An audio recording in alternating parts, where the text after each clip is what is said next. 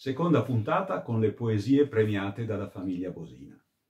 Per questa rassegna di illustri poeti varesini e varesotti che si sono distinti più volte con i loro versi in dialetto, presentiamo, dopo Nino Cimasoni, Costantino Rossi, meglio noto come Tino Rossi.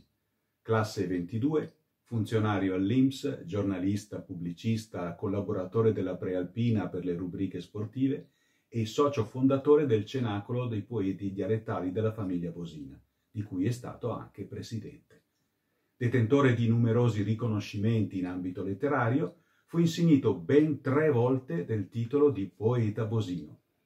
Vi leggiamo la poesia Riflessi in Char Scur che gli valse il primo premio per l'anno 1979. Riflessi in Char Scur Öch pensus, öch che guardan lontan in ranebbia d'ordumà.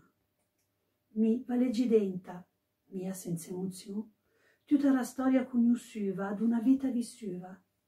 Desideri sentì, sen mia sognà, carez delicà, che man pena sfiorà. Insieme a delusion patì, a immagine perdue, oscolorée. Savais che tu scos, ghevan a fin, leva un prezzo troppo val per mi da pagà a ogni promessa da felicità.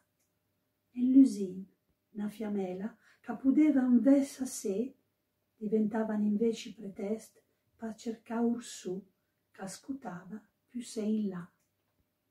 In che, con tanti lumi smorzà, in dur cœur suffegà, in mezzo a un'aria scura, che fa quasi pagura, a tremi e senti frecce sundre diventa vec.